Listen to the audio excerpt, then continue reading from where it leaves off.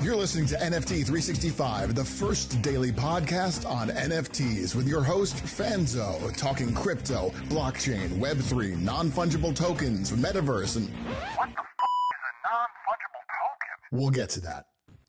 What's up, friends? Uh, welcome back to another episode of NFT 365. And have you ever thought about getting naked online?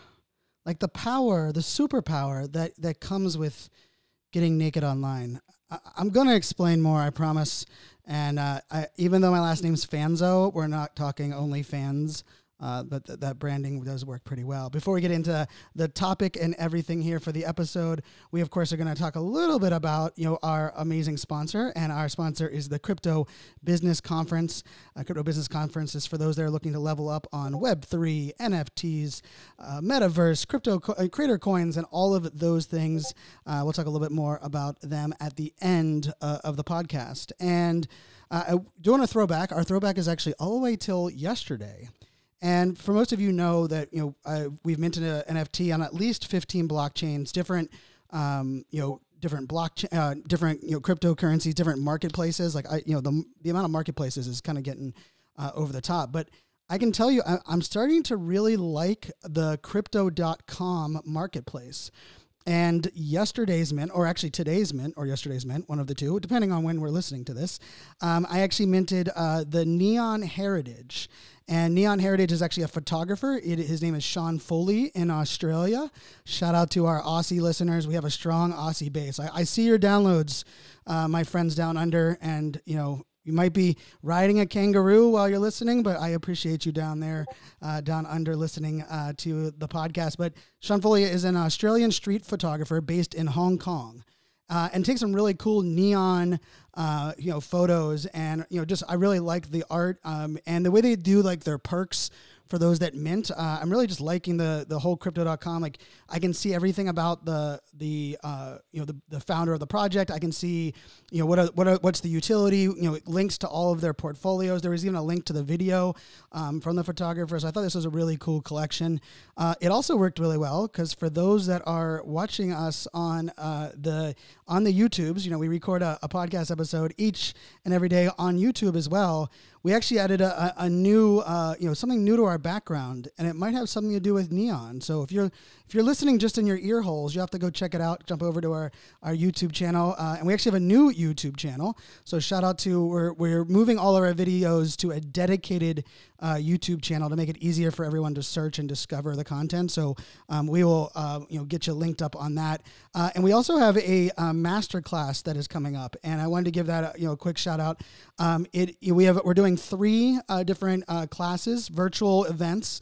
Um, these are we're using a virtual event platform, uh, and we're we're talking three different topics. We're talking security, we're talking community, aka Twitter, and then we're talking your business and brand on Web3. And so they're spread out over uh, the next couple of weeks, but we'll put a link in there uh, for those that want to check them out. You know, I'm excited to really be able to, um, you know, present. You know, like that is my full time uh, profession, so excited to deliver that content. I'm really going to go down and hopefully, uh, you know, take things to the next level um, when it comes to all of the great things in Web3. So enough about the promo, enough about the intro. Well, I just said we're going to take things further, and I kicked us off by saying we're going to get naked online. I mean, I think some people are like, "Wait, does this call her daddy? Did we get? Did we listen to the wrong podcast?" Uh, no, um, but I, I actually think you know one of the beauties of Web three of decentralization is this idea of being naked online. And let me let me qualify that before I lose you guys from listening. Um, and is that it's about transparency. Now, you know the beauty of transparency and and I, I was you know teasing uh, with uh, you know before the podcast uh, episode about you know like I've been preaching you know the power of transparency for over 10 years. Um, oh I guess not over 10 years nine years. Uh, 2000 2013 um, I started really embracing the power of transparency online. But the thing that I've always had to share was that here's the here's the the problem with transparency is that it also forces us to to deal and handle and in many cases um, have to come to realizations on things that we never have in our entire lives before and that can be intimidating it can be overwhelming it can be uncharted territory And I'm a big believer in transparency is, you know, got to give a shout out to my boy Bill Murray. Bill Murray is actually doing a drop later this month on crypto.com. Crypto.com is not a sponsor. If they want to, you know, they can hit us up. But um, Bill Murray is doing a drop there. And I love the Bill Murray, What About Bob? Uh, if you're a Gen Z, you got to have to Google it. If you're millennial, maybe you know the movie, but the, the, the line in there is like baby steps to the elevator, baby steps, and everywhere he takes baby steps. And so when I tell people, you know, I've helped, you know, I've helped some massive authors, uh, executives, um, you, you know, actually even, uh, you know, some people in different industries, uh, from athletes to adult industry that I've helped them build their personal brand and be more, you know, vulnerable and open online. But the thing I always say is we have to take baby steps because it can be um, not only overwhelming, but it, it can be overwhelming for you, the person that's being transparent, but it also can be overwhelming for your audience because they're like, hey, I haven't seen that side of you. And then the interesting thing, you're like, Brian, what the hell does this have to do with Web3? I'm curious, how many of you have your bank account public with how much money you have in your account? If you do, you can hit me up on Twitter. Just show me how much money you have in the bank. And I know everyone's like, huh, yeah, right. Never to happen. Well, in this world, the blockchain doesn't lie. Hashtag blockchain doesn't lie or don't lie. I don't know. I like both of those. But the blockchain doesn't lie, where the fact is we can see where things are coming, where things are going. And if everyone heard in the news, and I know for some maybe it was a little bit confusing, but the um, Tornado Cash was just banned in the United States. Now, the decentralized maxis are like, this is ridiculous. It's decentralized. No one should be able to ban anything. The, the, the the, the haters of decentralized are like, see, you know, crypto is just for money launderers, and and that's what Tornado Cash was for. Now, in the middle of this is that it is a little sticky area, but the what Tornado Cash was mainly being used for, and we have to be honest with ourselves, is that people were using it to hide where crypto was coming and where it was going. Because what you would do is you would send your crypto there and it would come out the back end on a different contract. Therefore, it would not connect the crypto hash of, of transfers from the original one. So it allowed people to launder money or, you know, tornado, you know, mix up the, the crypto and the United States just cracked down on it. Now, I will tell you, I've said this, you know, and I will say this over and over again. These crackdowns are great for bringing businesses and brands into our space. And for anyone that right now is tired of trading money with each other, because that's what we're doing right now. Most of us are just literally buying NFTs from each other, um, and then we're we're trying to flip them. We're like, why is nobody buying? Because we're all trying to sell. Then we're all trying to mint. Um, but if we want more like liquidity, we want more, um, let's just say, real money to get in, right? Like some you know some money that is uh, you know that can really make an impact. These type of sanctions where we're, we're now putting some like a little bit of like of trying to get out the get out the gray area, right? Like kind of like m- the gray muddy area is that is that spot you have to fix. But with that being said, you know, Tornado Cash was one of the ones that you know I know. I mean, I so personally I used it. I used it twice, um, both because I wanted to be able to talk about it, and I'm someone that if I'm not using it, it's sure as hell hard for me to explain it. And so um, it did work. It worked very like seamlessly. Like I'm talking super easy um, in and out. Um, but you know, much like uh, you know any of these type of you know uh, third, I won't even say they're third party, like fourth party, um, you know, platforms. You just have to be careful and like where all of that's going because it's definitely very unregulated. But you know, part of that that existed was because people would, you know, rather than sending money straight from my, you know, Coinbase or my crypto.com account or my FTX account, you know, I could send it to Tornado Cash and then send it to my wallet. And if you were tracking it back, you couldn't actually see which exchange I was using, right? So you wouldn't be able to track back, um, you know, some of the funds and things that you know that we had that we are using. And so the reason that like that I bring that up is you know, transparency, I, I believe, is part of what the burnout and the overwhelm is happening for a lot of, uh, of founders. And then the flip side of this, it is also very intimidating for influencers and those that have wallets that are very public. I, I know many of you that listen, um, and I've been okay with this since day one. Many of you that listen, um, you know, you track my wallet, right? Fanzo.eth um, is one of you know one of the, the nine wallets that I have uh, on ETH, um, and and for me that's that's that's totally fine. I, I have no problem you know being uh, open with that. But I will tell you, here's the funny thing about that I and I'm just gonna be very very vulnerable and I'll get naked with you real quick because this is where the you know transparency and vulnerability show up. Is that there are, are some times where I'm like, oh man, people are gonna see me sell that for a loss, And in some cases, I've decided not to sell something or put something out, even though I needed the liquidity, because I knew the that vulnerability of like, and it's not like I'm trying to pull one over on people, but I'm like, man, they're gonna see I bought that at 1.4 ETH. I just sold it for 4.9 ETH. I almost took a you know a one ETH of five thousand or not ETH is not five thousand anymore. Uh, I took like a two thousand dollar um you know bath. Um, and and I say that because you know transparency giving people access and and and, I, and before we go any further i, I want to level set and this is something i talk about on stages um, i think this is actually something that uh, you know if you listen to me if you follow me you know i'm very open and honest. I let people in. Um, but the thing about transparency transparency and oversharing are not the same thing. Transparency all transparency does is it gives people a window an authentic window in to decide if you're trustworthy and to see your vulnerabilities, the you know your bad side, your your what underwear you're wearing, whatever you know. Like it's that window in, but it does not guarantee trust. Right? If you are a slimy slime ball and you've moved out of the country to you know hide your past and you are transparent, I just get to determine that you're a slimy slime ball faster. And so transparency for those that are shady, those that are up to no good, is a very scary alternative. Now, I will also say on the flip side of this, I also understand that, you know, it can be a slippery slope because what is regulated today might be differently regulated in the future and you don't know what how that's going to like kind of work, right? It's like I don't like the whole adage of like don't plead the fifth on the stand if you got nothing to hide.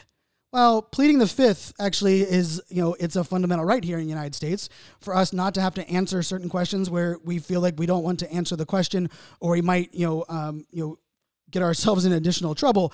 And and for me, like there, there's like that weird gray line, right? Because do we, when someone says they're going to plead the fifth, do we assume that they are hiding something?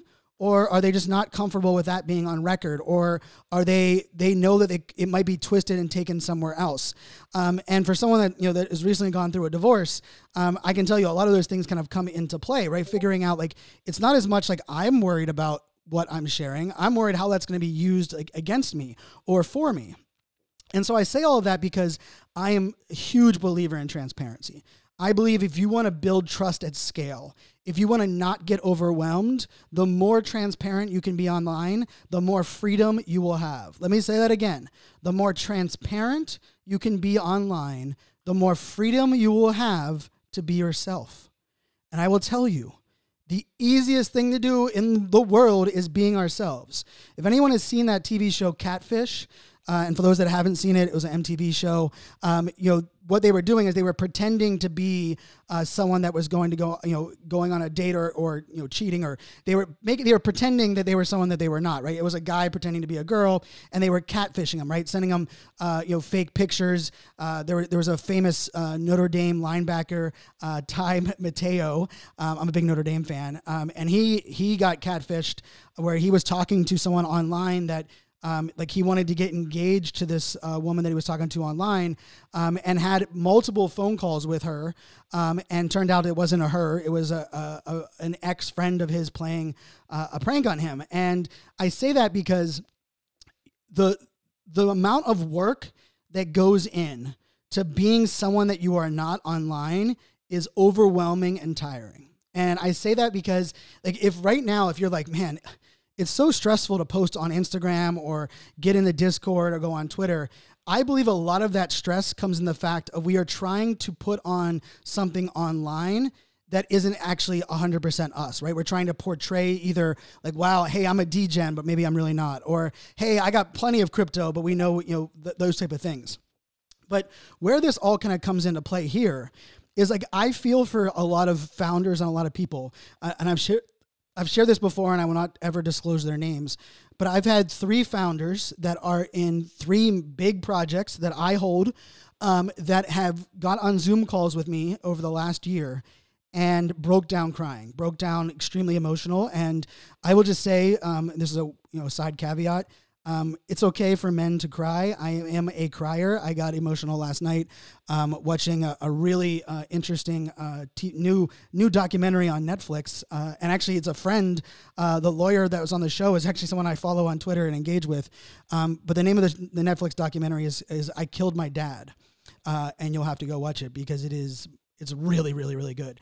But I say all of that because the the whole like this whole you know like bridge into you know not only you know being ourselves online and, and showing up um, you know as our our true selves is that you know like the the the amount of man, the amount of things that all of a sudden are that are thrown in our face that we've never had to deal with before can be extremely overwhelming. And, and I'm going to give an example that's not tied to Web3 just for everyone that, like for anyone that's ever, maybe no one, maybe some, of some people that are listening have never posted, you know, about politics or religion or about a movement.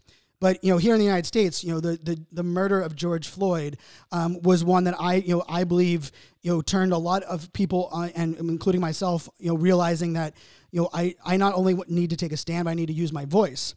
But the truth is, if you are talking about something, you're sharing about something, you're you're letting people in for for another part of you. If you've never done that before, here's the here's the scary part. You're not used to handling what people are going to say or do. So if you're an NFT founder and you've never kind of like you've never had to like you know have your books public with your team, and all of a sudden people are like, "Hey, why did you take that money out of your wallet? Like that, it's in the, the funds are in the community wallet. I saw you transferred it out to your your exchange. What are you doing, right?" And all of a sudden it's like, "Why is there this pressure? I I have to pay my bills. Like, of course I have to take it out, right?"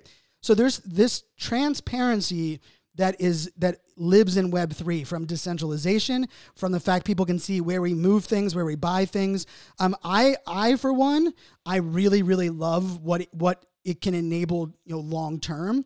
But i also just want to be very clear that we this is the spot where we have to give grace to a lot of people that are maybe not handling things the best and one of those things can be mental health I know that it's become a little bit, um, and I don't even want to say this because I don't like going that. It's it's there's a lot more people talking about mental health in Web three, and I think that's an amazing thing.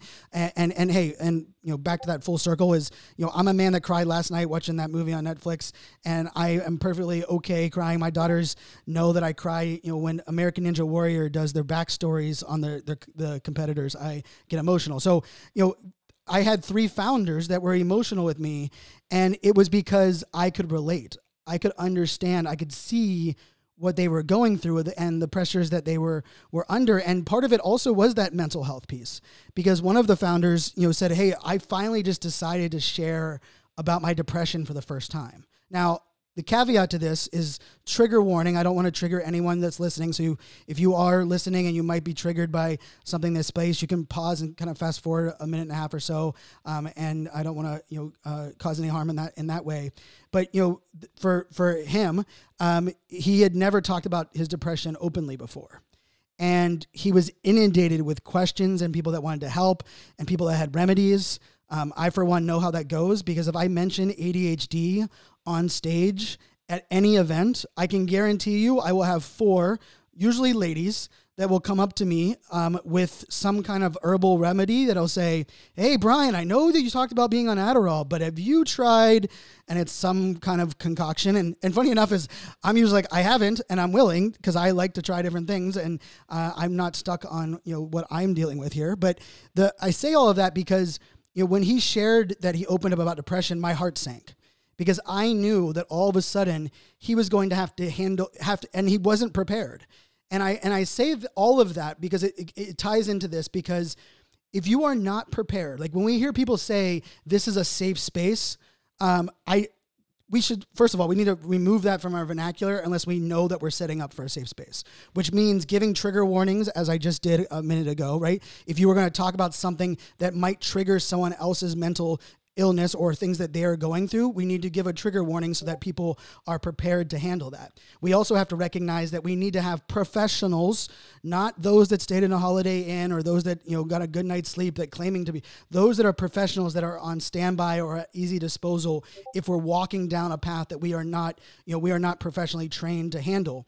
But uh, part of that is the idea that like transparency, much like sharing in the mental health side, will open up things. And, and the beauty of it is that the more you kind of prepare yourself and then you kind of lean into it, the more that freedom comes. Like I, I really do believe I no hater and no bully scares me today. Now I will tell you that was not the case five years ago, seven years ago. I was I'm a people pleaser at heart. I was I was the kid that would always wanted everyone to like him. I still kind of you know that's still something that I you know I work with. But I will tell you the reason that I, I'm not scared of any haters or any naysayers or people coming at me today is because I own all of my dirty laundry. I am far from perfect. I've made plenty of mistakes in my life and I have no problem owning that. But you know, it's taken me a long time to get to that spot. And because of that, it allows me to actually have freedom in, like, I will push back. Like, if we're in a Twitter space and someone says something um, in a way that I don't think is appropriate, I have no problem stepping up to the plate. And because I know that I might, you know, turn some heads or I might get some people that are like, you know, in my DMs trying to, you know, correct me or tell me what I did wrong. But I am extremely comfortable in my own skin in and where and how I show up online. And and I would and I say all of that because it's been a journey. 2013 it started. And I would say maybe three years ago, I got a little bit, you know, to the point where I can pretty much own everything that's going on in my world.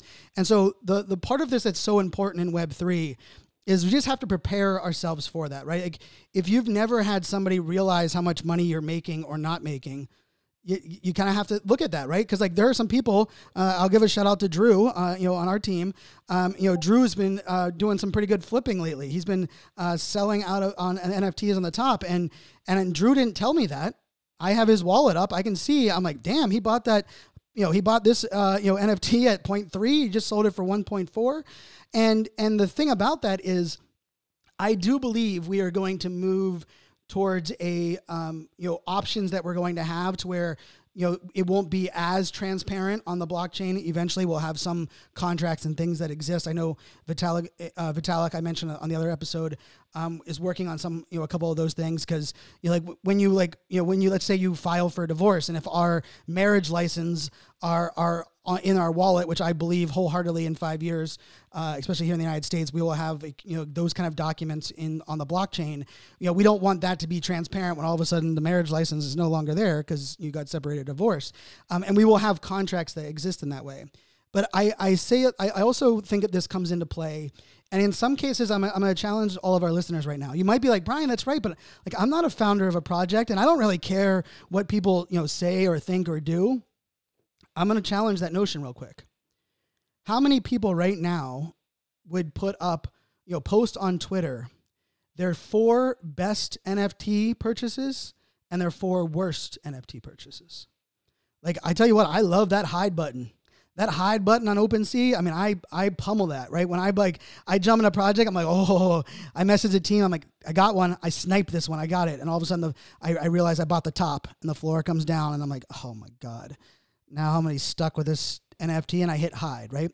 Now remember, when you hide something like in a marketplace, because OpenSea is not decentralized, OpenSea connects to the decentralized blockchain, but OpenSea is a centralized front end. You know, yes, you can hide it on your OpenSea, but here's the truth. If I am looking on Etherscan at your wallet, I get to see what NFTs move in and what NFTs move out. It does not matter if you hide it on OpenSea or not. It doesn't matter if you hide it on look. You could hide it on LooksRare, OpenSea, Coinbase, GameStop NFT, all every single marketplace, and the blockchain is where these transactions are fully transparent. And I'm not saying that to scare, because here's the beauty of this. I, I, I use this example. Shaq gives back, right? And I and I'll I'll use it for any social good right? The idea of donating to a charity, we've all heard the, the, the horror stories where only 3% of our donation actually gets to the cause that we believe in, right? It, it goes to like all these other people on the way. They pay for overhead, they pay for employees. And by the time it gets down to like drinking water for the person that you're donating for, it's not even there for them, right? And we don't really even know that until it got exposed. Why they like? Why don't they have that much money to buy as much water as they need to buy? Um, and I, for anyone doesn't know the the whole water story, there's a great book and a, uh, one of my favorite keynote speakers uh, talks on the on that whole um, you know piece and how that was exposed, and he created a whole uh, ecosystem. But the the piece of that that I love about the blockchain is if you are setting up a social good campaign and you say 20% of our um, revenue will go to this charity and this is that charity's wallet, guess what you can do? You can have it automatically set up in your contract that 20% automatically gets sent to that wallet. And now I don't have to be like, do I trust them enough to donate? Because here's the here's the truth. If you're not doing it on the blockchain, I might not trust you right where, where we're at right now, if if it's not happening on the blockchain, if you tell me, Brian, I'm I, am i am taking that money to my bank account and then I'm doing the twenty percent and then I'm sending it to the charity, red flag. And if on top of that you're you're not doxxed, you're using a a pseudo uh, name. Um, yeah, I'm I'm I've had enough on that that conversation now, right? So the flip side of this, and and, and, and I'll tie it back into that even that idea of not being doxxed. This is why for some projects, I'm okay with some of the people that are not doxxed, um, which means they have not you know, exposed their identity. And the reason I've been okay with them in the past is guess what I do? I go through their Twitter account, not not the last three months, not the last six months. I go back in advanced search on Twitter. There's some alpha for you. Advanced search on Twitter is one of the, the greatest tools that ever existed, and pretty much nobody uses it. But if you if you're on Twitter, you just click a little um, settings button at the end of the search bar, and it'll pop up and say advanced search. You can pick the year. You can pick the words you want to search, the words you want to omit, the people you want them, just the people you follow, just this person. You can. I mean, it is pretty amazing. But I like to go back into people's Twitter feeds long before they think people are looking. I also go and look at the founder's wallet and I say, okay, are they being shady? Are they doing a lot of like bot trades? Like, what are they doing? What are their transfers? What are their activity tab? Uh, and Delphi Cat, there's an activity tab on uh, on OpenSea. Just uh, uh FYI, uh, that's a little inside joke because uh, I live on that activity tab there in the in the marketplace. Um, and and she knew where it was, but, I she didn't. She told me she didn't know where it was, and it was like a whole fun little conversation there. Um, but you know, with all of that kind of you know the idea that I can this person I don't know this person's name, I don't know their background. I only know that you know their whatever their Twitter handle is. I can go back and look at what they started sharing at the beginning of their Twitter account. I can go look at their wallet and their transactions and track things down and be like, ooh, they preach about they don't want flipping and they preach about supporting women led projects. Yet I don't see a women led project in their bag. And all I do is see them pumping and dumping. Well, guess what? I can determine I I that transparency, right, gives me that window to determine if you are trustworthy. Transparency does not guarantee trust, but also transparency can expose things and and and, and have us required to share things and be open about things um, that you know haven't been there before.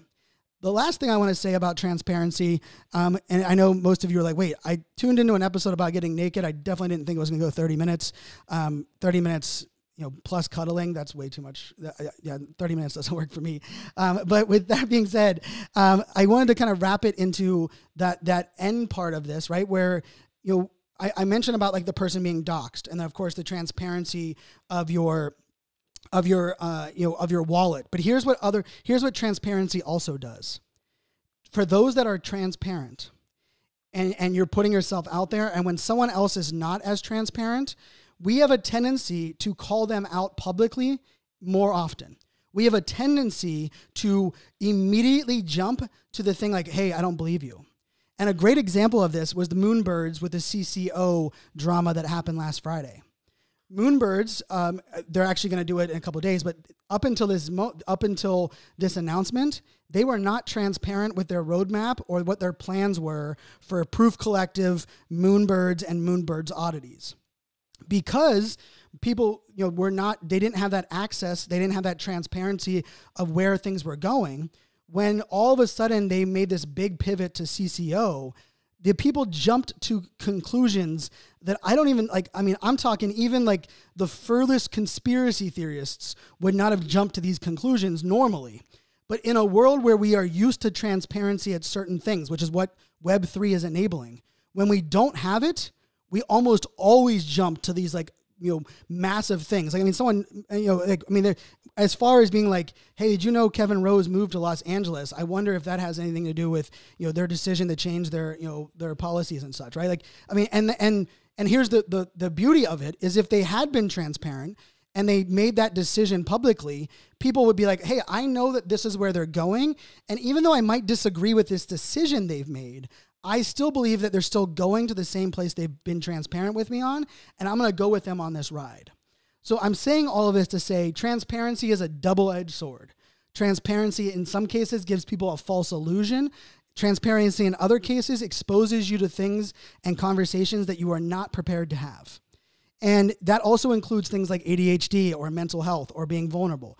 If you are not in the place, if you are not comfortable enough, or you know the, the the saying is in like the mental health community is you need to you need to speak from the the scar, not the wound.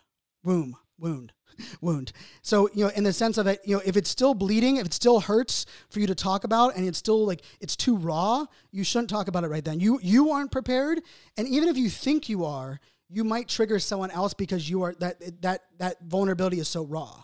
But if it's become a scar and you've been able, you know, the, it's kind of it's kind of worn over, and you know, I'm going medical here. You know, who, who knew where this podcast was going? Um, but the idea that you know it's from a scar. Well, now you're like, hey, I'm used to it. Like I have a scar on my forehead. I was four years old. I stepped on a soccer ball and planted my face in uh, in a gravel uh, driveway, and my mom, you know, unfortunately was home without a car, and we didn't get stitches, and so I have a scar, and I can speak about that scar because it's something that's in the past, and I'm I'm over it, and it's something we're moving on from, and so the reason I say that is when I hear people say like, you know, hey, this is a, a, a safe uh, room, you know, anyone can share their journey. Just know that determining what your level of comfort and of transparency is is only your decision in those cases. You are not obligated to share the the things that you are going through. You are not obligated to put those things out there. Now, I will say, in many cases, if you are at that scar part and you're able to share, not only will it help you feel not you know less alone and get things off of your chest, but it'll also allow you to be more relatable with others. Because I firmly believe that our vulnerabilities connect us with others much more than our strengths our vulnerability think about your friends and the people that you're like you know what? We were hanging out and then i realized that we both sneak outside and smoke cigarettes.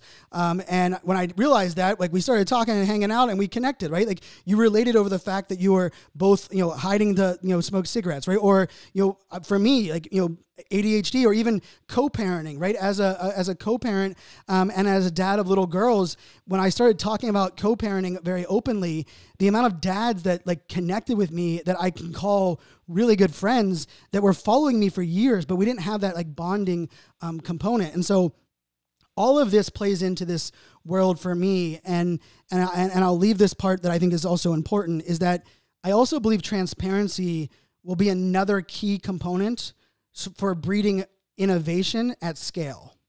It's why I like the Creators Commons license as a whole, because the more transparent we can be with how we're doing things, why we're doing things, where we're doing things, the more we can build on top and grow together. If we're not as transparent and we're like, I'm going to hold on and take my baseball and go home, then guess what? In those cases, we aren't able to learn from each other as much.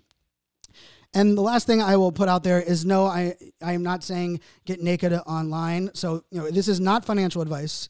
Do your own damn research. And if you so choose to get naked online, let it be your own decision. Uh, I support anyone that is not uh, willingly uh, hurting someone else or hurting themselves. And you know, I, I'm a big fan of you know the the world allowing us to uh, you know kind of be ourselves online and, and, do things that make ourselves happy.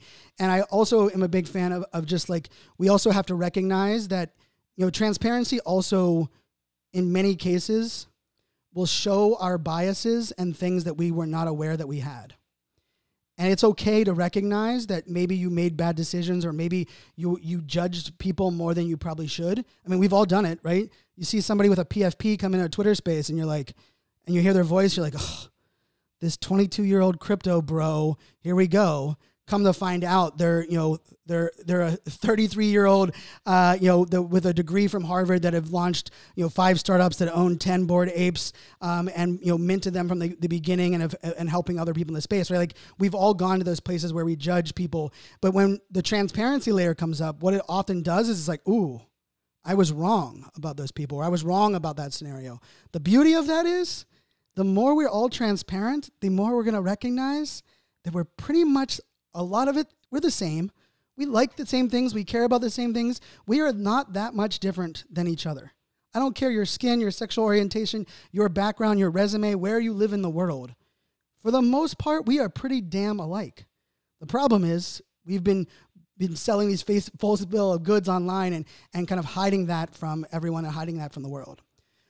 Of course, I want to give a shout out to our, our amazing sponsor. We have, uh, you know, Crypto Business Conference is our, uh, our sponsor. You know, excited to be a part of that event. You know, it is happening uh, October 9th to the 11th in beautiful San Diego, California. Um, I will not be naked on that stage. So, uh, Mike Stelzner, I know you listen. You don't have to worry about that. Um, and I, you know, one of the things that I not only love about what you know crypto business uh, conference is representing but the other part of this is like we can learn from a lot of these other events right? So if someone's and i'll just put this out there right? We can learn from other web3 events. But the other part of it social media examiner the, the parent company behind crypto business conference has been putting on the world's largest social media conference for many many many years. I've been a, i attended the first year and i've been a speaker every year since. And they know what they're doing. And the beauty of that is those like kind of like Web three NFT meetup. Uh, you know, learning mistakes that people, you know, they don't buy enough food or they don't reserve enough space or they didn't, you know, air conditioning is a problem. That that is something that, you know, for me is exciting about going to a conference and knowing that the team that's putting it on are, are professionals and put on uh, a great event and a great show. Lastly, I, I'm to just touch on the fact that, you know, not only you know, is it important for us to, you know, recognize that we're, you know, we're all not alone on this journey and and that we're not much different from each other. Know, the other part of this I just want to say is it's okay to not be okay right now. Like if you're struggling at the moment and you're not okay, just know that you're not alone. And sometimes a day is not going to be as as perfect as good as you want. We in this space we have so many things that are outside of our control. We probably walk into some days that are not okay more than we ever have in our lives before. And I think giving ourselves grace and letting ourselves know hey, it's okay to I'm I'm, I'm not going to let this you know change my every day of my future, but it's okay to not be okay because you know I firmly do believe we will get through this. I also will say just for the, any of those that you know are feeling overwhelmed or lonely, like please reach out and get support you know, call the hotlines that are there, reach out to your friends and, and family. Um, you know, we, we have definitely lost, you know, too many people for uh, way too many things from global pandemics to, uh, to cancer to everything else that's going on in this space. And, um, and, you know, in that, in that vein, uh, you know, the, the thing that we can do for everyone is just let people know that they're not alone and that we're there on the journey. And I believe we're all gonna, we, we got this. We, we got this. It's a hashtag I used a lot during COVID because I, I believe that we together we're going to get through this. We're going to learn, we're going to grow, and we're also going to recognize that you know transparency is going to come with a lot of trial and error. You're going to test out, you're going to share something, you're going to be like, "Whoa, I didn't expect that reaction." And then it's up to you to decide what is that, you know, risk versus reward and how you react and how you move forward. But as speaking as someone that is massively transparent and open um, online, the freedom that it enables allows me to do something crazy, like a daily podcast that's also a YouTube video that I also create content on Instagram. I tweet about 40 times a day. I'm in our Discord. All of that is only possible because I am doing the one thing that I know I can do better than anyone in the world, and that's be myself. I can be myself just about anywhere, and and the beauty of that is you don't have to worry about somebody copying you or someone stealing your work because I mean there is really only one Brian Fanzo. Until tomorrow, my friends, make it a great day. Cheers.